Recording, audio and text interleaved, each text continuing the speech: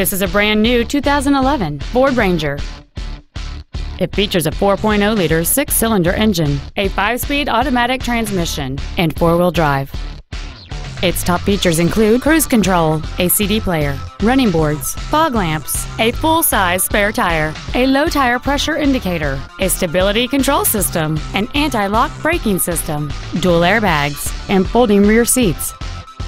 This vehicle is sure to sell fast. Call and arrange your test drive today.